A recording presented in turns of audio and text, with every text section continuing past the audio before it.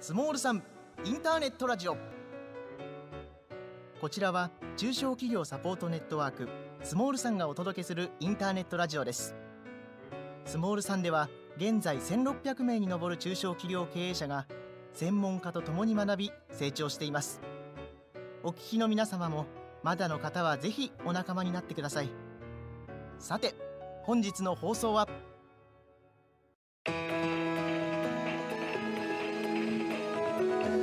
北のゼミから。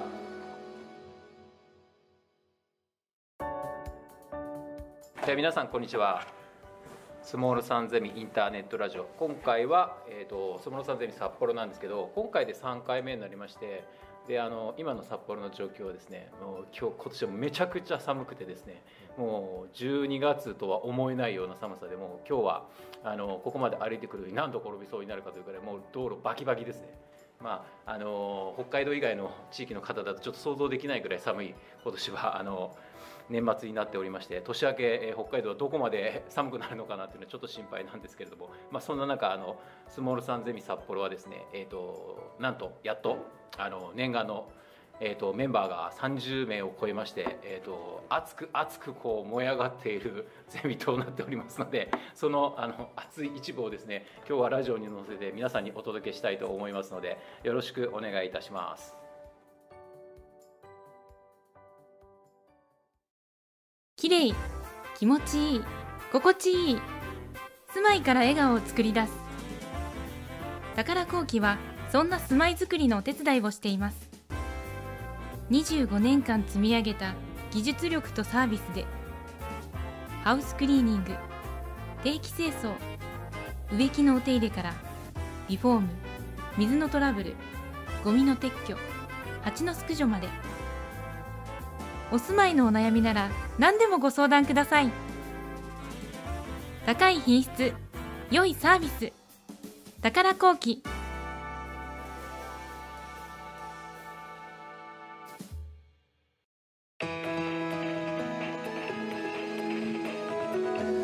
北のゼミから。はい、であのいつもながらあの今回も私あの北海道苫小牧で食器や雑貨のお店をやっておりまして千歳空港ではお土産をやっております株式会社千鳥屋の板屋が務めさせていただきます。では皆さんよろしくお願いいたします。よろしくお願いしますで早速なんですけども、えー、と本日のメンバーの自己紹介をですねしていただきたいと思います。では橋田さんよろしくお願いします。はい。えっ、と橋屋株式会社の橋屋と申します。えっ、と今年でですねえー創業122年目になるえっ、と古くからの、えー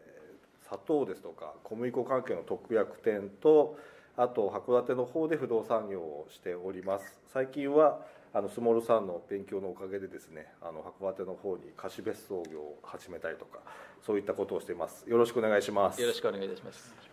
では浅井さん。はい、はい。えー北海道大学大学院の今博士課程に在学しているあま浅井です。だまだ博士課程いるんですか、ままだ まだ博士課程。です、はい。えっと一応最近話題の AI をの分野で、はい。えっと学生をやっています。学生をやってるんですね。まあやりつつ少しあの隣にいる橋谷さんの、えっと、ホームページを作成させていただいたりというような形で、えっと、少しずつ、まあいいですね。社会勉強と仕事をやり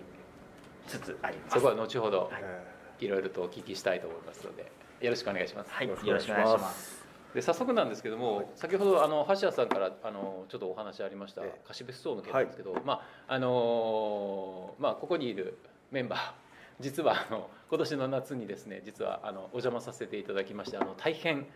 あのなんていうんですかね本当におしゃれで、まあ、場所もあの函館のやっぱりあのあそこはえっ、と湯の川にあるんですよね。湯の川というはい。温泉が出るところですそうですね。僕もあの離れのですねあのジャグジー付きの温泉入らせていただきましたけど、なかなかちょっとああいう体験ってやっぱりなかなかできないなっていうかですね北海道にいても僕なかなかああいう体験したことがないんですごく貴重な体験だったんですけども、非常になんか浅井さんも入りましたよね？入りました。どうでした？さん確かあれですよね。あの相撲さんの大沢さんと二人で風呂入ってましたよね。そうです。はい。ね二人仲良く裸の付き合い。ジャグジーに二人で。はい。ねどどうでしたか？と、ね。まあ、若い2人が。若い2人がね。でもあれですよね、まあ、男若い男2人っていうのがまあミソですけど。そうですね。まあ、多分相撲さんについて熱い語りをなかなか出てこなかったからしてたのかなと思いますけれども。結構長々と相撲さんのいろんな地方の話とかを聞いていました。真面目な話してたね。真面目な話してましたねで今回あの、まああの当然今までその賃貸業というかそのまあ、ええ。あの宿泊の部分でですね、あの多分土地とかのあのね不動産は不動産的にはやられてたと思うんですけけども、やっぱり、うん、宿泊業というかその貸別荘という形で、まあ、舵を切られたそのきっかけというか、ね。まあ、はいそういうのってどういうところなんですかね？ええそうですね。やっぱりスモールさんの学びの中で本当に隣接異業種っていう言葉が、あのキーワードとして上がってくると思うんですけれども、例えばそういった中で、まあ、正直うちの主体のビジネスっていうのがあの小麦粉ですとかはい。お砂糖の卸売りをしておりまして、でお客さんが結構やっぱりパン屋さんですとかケーキ屋さんが多い中でやはり、まあ、やはりパンですとは、まあ、最上級はやっぱりハード系のパンとかそういったものを作りたがるんですが、やっぱりそういった業界を見てると、まあ、うちもやっぱりそういうフランスパンを、まあ、食べるうんお客さんってどういったお客さんが多いのかなとか、まあ、そういったところですよね、で、まあ、ちょっと不動産の話からそれるのかもしれませんけれども、えー、と他に私が社長になって手がけたこととしてはやっぱりフランスパン同じパン屋さんにあのただフランスパンだけ習っていてもみんな家帰ってからですねあのパンを切るのにパンフランスパン潰しながら切ってたりとか。あはいそういったようなこともあったので、えー、とやはりあのパン屋さんにたまたまあのうちで販売させていただいているパン切り包丁はいを置いてもらったところ非常にやはりまあバカみたいに売れるわけではないんだけれどもやはりお客さんとしてはあの買っていくお客さんがいるといったところでですねやはりそのフランスパンというものを通して本当食文化だとかそういうライフスタイルを提案できるんじゃないかなというふうに思ったんですね。はい。でそういった中で、まあ、たまたまうちでずっと悠久不動産で全然あの使ってないひいじいちゃんの土地のあの時の土地があったもんですからそれをうまく今回利用してですね貸別荘をまあ作って、まあ、例えばまあそういったフランスパンを持ち込んだ人たちがそういったところでなんか食事したりとかですね、はい。楽しめるようなそういった提案型のことができないかな、まあ、そこはだから僕の解釈の中ではちょっと隣接異業種につながるのかなっていうようなことでですね今回あの立ち上げましてちょうど1年になるんですけれども、まあ、やはりそこそこですね、まあ、1泊、えー、と3ベッドルームで大人6名で週末ですと大体10万円取ってるんですが、比較的あのハイエンドのお客様っていうか、そういう本当にフランスパン持ち込んでパーティーをやってもおかしくないようなお客様があのご利用いただいているというようなことでだから僕としてはそれを通して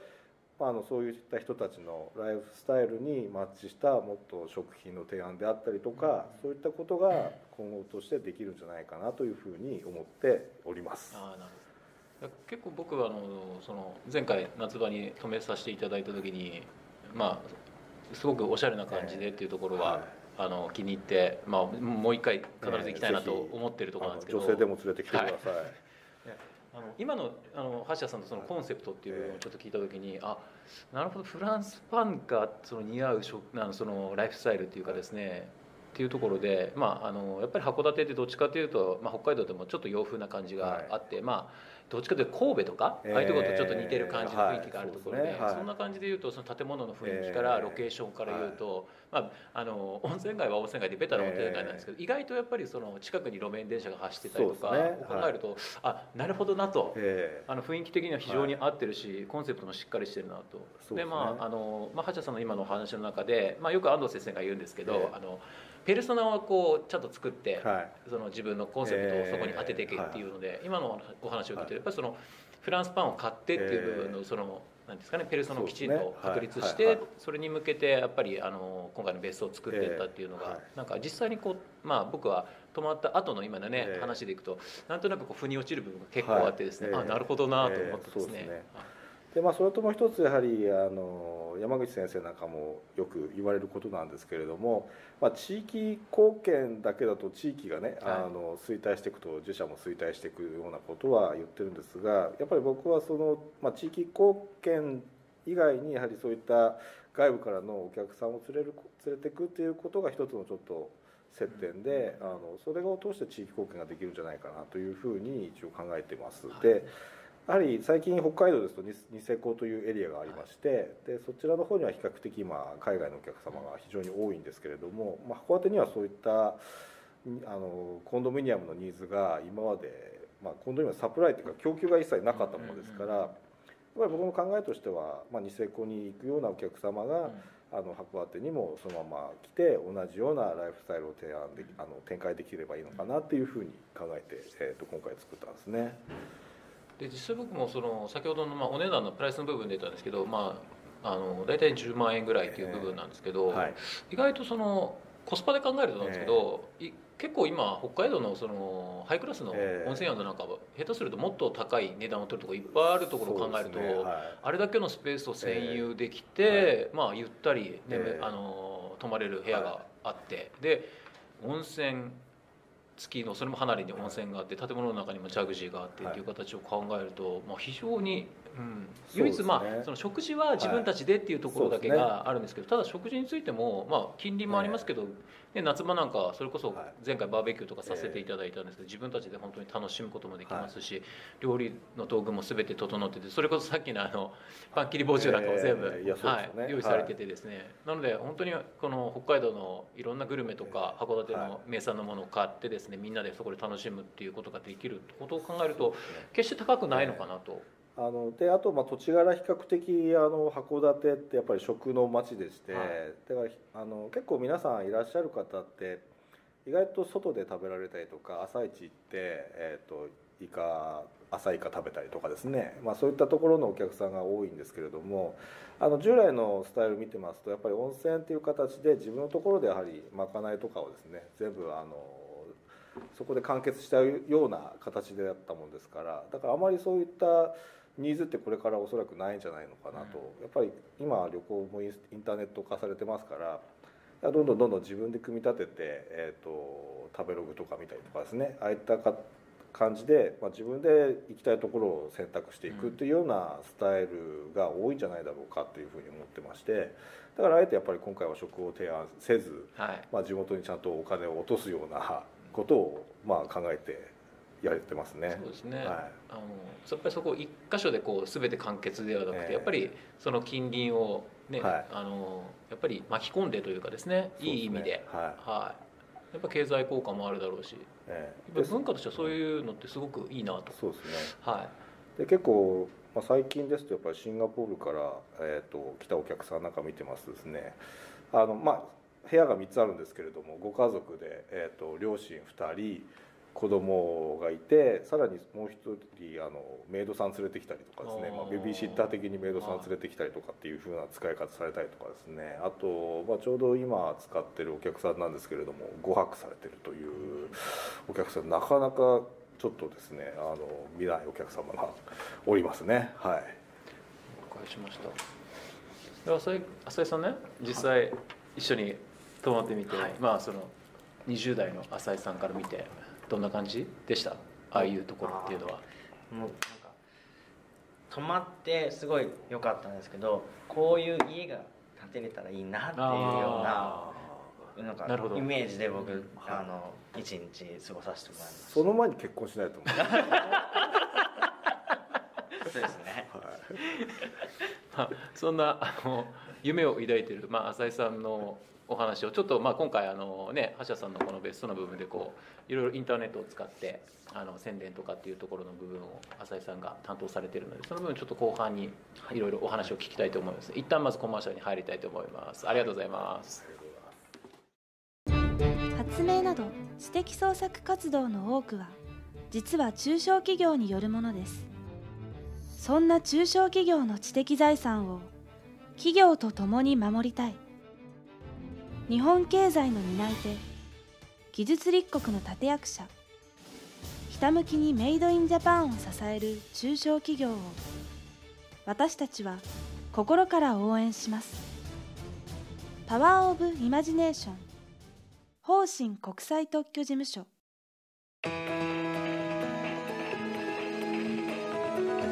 北のゼミから。では引き続きましてあの後半に入っていきたいと思います。で実はですねあの先ほどからあの別荘の話をしてるんですけどあの大事なですねそうです。別荘の、ね、名前をですね宣伝しなかったですね。宣伝しなかったですね、はい、そこをちょっと橋田さんお願いします。大事なところですね、はいえっと、名前が一応これあのラ・カシェットという名前でして、えっと、これがですねあのフランス語で隠れ家と。いうようなところで、まあ、正直言って、まあ、そもそものそのビジネスのコンセプトとしては年間100日ぐらい入ってると、うん、まあ、うちとしてはちょうどいいかなという感じだったのでそんなに逆に宣伝したくない。うん、で今意味いや意味があのフランス語であの隠れ家なもんですから、うん、結構そういうふうなですねあのハイエンドなお客さんだとか芸能人だとか、そういった方が来てほしいなと思ってこういう名付けをいたしました。はい逆にこうなんですかね大々的にこうなんでコマーシャリングかけるっていうよりはちょっとこうなんていうかそういう方向けにっていうところの攻め方って当然あるあったんですよね。あのすすきののお姉ちゃん連れてきたりとかですね。まあそういうちょっとお忍び的にですね、来ていただけるとなんか面白いんじゃないかなというふうに思ってます。塀もある程度の高さがありね、かなり、プライバシーは守られてますね。はい。で今回その中であのどういった感じでこうなんですかね訴求というか、はい、あのコマーシャリングをかけてったっていう経緯ってどどんな感じなんですかね、はい、そうですね。だからあんまりそういう大々的な広告は行ってなかったんですけれども、はい、あのインターネットの方のホームページは、あの同じスモールさんのですね、まあ、ここにいらっしゃる浅井さんにお願いしました。はい、浅井さんあれなんですか？今回その橋田さんからのご依頼を受けて、まあいろいろこうまあ多分橋田さんのその目指すターゲットゾーンっていうのが結構あったと思うんですけど、はい、そこに向けてのこの、まあ、インターネットとか、まあまあ、多分 SNS とかを使われてやられたと思うんですけどそういう訴求の仕方ってどんな感じの、まあ、そこ専門なんでちょっとお話を伺いたいんですけど。はい。まずはあの自社サイトをしっかりと持ちたいっていうことで、はい、あの自社サイトからの購入させるためにそのサイトを作る。ただそのまだやり始めだったのでどういうそのサイトになってっていうようなあのまだその厚みというところがまだ薄いところもあったので1ページで完結するようなホームページを作成しようということになりました。でただそのハイエンドのお客さんをターゲットにしてるっていうところがあってそういうえハイエンド向けのデザインにしたっていうのが一つありましてもう一つはあの、まあ、ターゲットが国内と海外の国外の方もいらっしゃるので日本語と英語を両方とも、え載せているっていうようなサイトの構成をやりました。ちなみになんですけど海外の人たちってやっぱりまあ検索とかをね、函館と函館のその宿泊施設として自分たちの泊まりたいところをこう検索なりなんなりっていうインターネットで、まあ、素人考えでとしますよね、はい、そういう時に、まあ、この今回の貸別荘がこうヒットするような仕掛けっていうのっていうのはどういう形でしていくんですかね？そうですね、うん、まずはそのサイト内のキーワードで、えーとまあ、英語で載せていたり、はい、あとは、まあえーと湯の川だったりはい、まあ、日本語でそのキーワードを書くんではなくて、うん、まあ、英語で、えーと、引っかかるような形で、うん、えーと、作成していく。もう一つは SNSFacebook 等からの、えー、流入があるように、うん、Facebook ページを作ってそこであの四季折々のあの、ラカシェットの像っていうのを、えーと、写真で撮って、えー、公開していくっていうふうにやっています。まあ、要は日本語でいうキーワードをこういくつもつけてヒットしやすくするのと一緒で、まあ、それを英語でずっとやってくるんですよね、はい、例えばその中であの、まあ、予約とかありますよね、はい、あの実際にあのインターネット通じて、はい、でその部分のしょなんていうんですかシステムとかっていうのも浅井さんのところで組んだんですかね、えっと、そこは、えっと、ブッキングドットコムの、えっと、予約サイトを、えー、連動させましてサイトからそのそちらに行くような形。はい、もう一つはあの一番下に、えーと、フォームがあってお問い合わせできるような形で、はい、えーと、直接メールをいただくっていうような、えー、顧客獲得の方法を、えー、採用しました。ということはまあ、あのブッキングドットコムの場合は、まあね、代理店というかその代替してくれるのでそこは OK なんですけど直接の場合は当然橋田さんが基本的にやはりそうですね、ええ、私が今のところ海外対応とかそういったことはやってますね、まあ、橋田さんもともとアメリカにも長くいらっしゃってねそれが堪能なので、えー、問題ないと思うんですけど、ね、またやっぱりでも比較的最近本当アジア圏のお客様が多いんで、はい、苦労しているところって本当中国語対応がこれから多分必要だかなというところですね。今現状だとやっぱり中国の方でも基本はやっぱり英語での全てやり取りになるん。です、どうなんですかどうですかねただ上海のお客様は全然ダメですね。ダメですか、えー、かなりだから苦戦して今 Google 翻訳とかいろいろと翻訳してるとまあ、わけわかんない訳が出てきますけれどもね、えー、そうですよね。そう考えるとまあある程度のこうこれからはそうですね、まあ、いろいろ富裕層を考えてもやっぱりアジア圏の富裕層を考えたら、まあ、中国とかね、ねそっちの方っていうのはやっぱりこれからニーズは絶対高くなってくるっていう、北海道、まあ、今僕たちねやっぱり、特に、ね、札幌なんか歩いてても明らかに多いですもんね。だから浅井さんは明日からフィリピン行かれるとかってあそう言ってたよね。そうですね。お、そうなんですか？開発会社の打ち合わせでフィリピンでちょっとあそうなんですか？そうす。ごいですね。でもまあ話聞くとなんか人件費が安いから向こうはプログラマーの人を使ってるっていうようなことで、まあ、我々も前回あのカンボジアね、行って見て見させていただきましたけれども、やっぱり海外のねそういう安い人件費をうまく活用するっていうのがこれからね、本当に必要になってくるなと思いますよね。はい、ね。ちょっと今日ね変な話なんですけどねニュースでですよ。あの多分ヤフーさんかなんかニュースかな？で見たんですけどあの大宮に有名なゲームセンターがあるらしいんですよ。すごく有名な。でその多分世代的な人たちからすると、まあ、あの自分の青春時代をね過ごしたようなゲームセンターがあってすごくその立地も良くて、まあ、そのサービスもいいっていうところで評判がいいところなんですけどやっぱり最近すごく閑散としてきてですねそこが閉じるっていうニュースが載ってたんですよ。でそれを見た時に非常にまあいろんな人からこの思い入れがあってですねなんでし、ね、閉めないでほしいみたいなのはあるんですけどまあやっぱ結局はお客さんが来ないからあの閉めざるを得ないということ。はやっぱりまあ掃除でどうしてかなってふと考えた時に、まあ、単純に言うとやっぱりあ若い人少ないもんね今っていうところでね、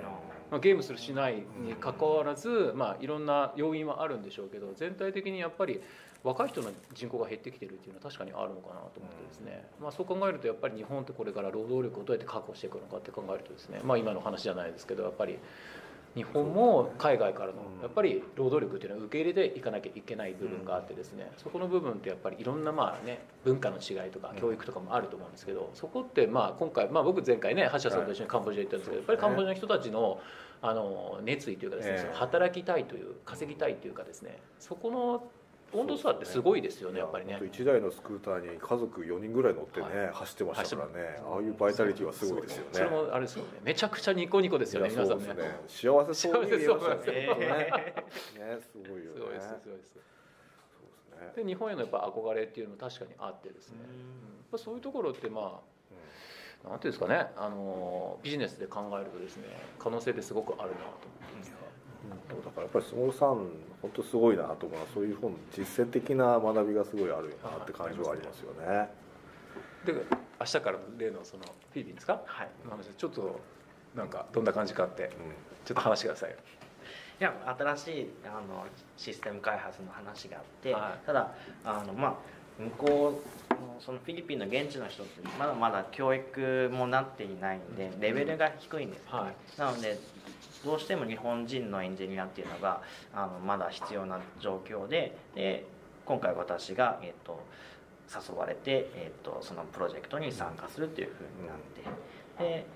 まあ、現地のフィリピンの方とコミュニケーションしに、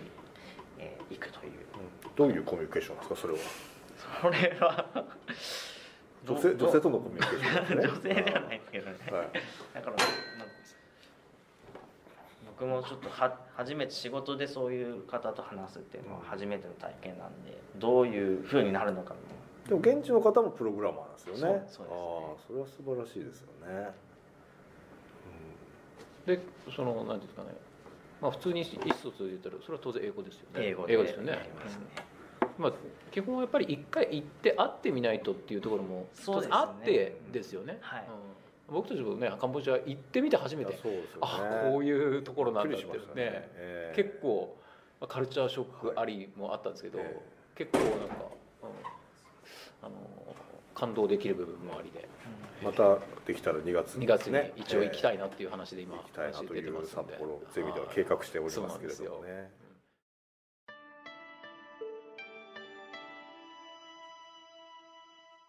日本一おいしいどら焼きをはじめ中尾清月堂には春夏秋冬季節をお届けできる一品がいつもあります。味わい彩り時を受け継ぐ技心をつなぐひとときのために伝え愛された菓子心。富山県高岡市の伝統の和菓子屋中尾清月堂に来られんか？スモールさんは1600名に上る中小企業経営者と10名の専門家たちが共に学ぶ知的サポートネットワークです。月2回ニュースが配信されそして全国にゼミが組織され毎月勉強会が行われています。入会ご希望の方はホームページからどうぞ。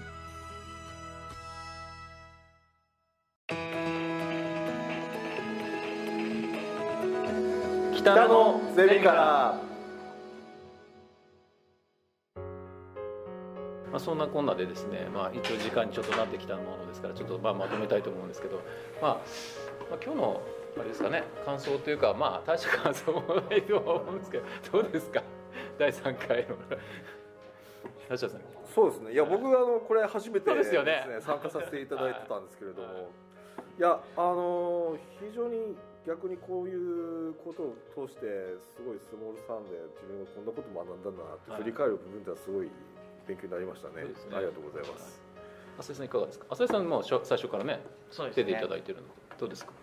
僕もその勉強させてもらいながら、はい、やっぱり海外に目を向けないといけないなっていうことで、はい、今回フィリピンに行くことに決めましたし、はい、はい。もう少し僕はこれからその仕事をやっていくっていう立場でどういうふうな会社を作っていったらいいのかっていうのをあの日々勉強させてもらっています。はい、いいですねまあ、あのぜひフィリピンから戻ってきたら次回のスモールさんの時でもいいので少しどういうものかっていうのを皆さんに報告できるような形がね時間あってもいいですよね、はい、それはね、ね、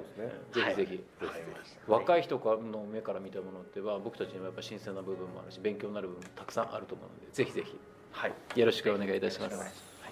じゃああのこんな感じであの第3回の札幌ゼミのからの放送は終わらせていただきたいと思いますので皆様お疲れ様でした。ありがとうございます。ありがとうございます。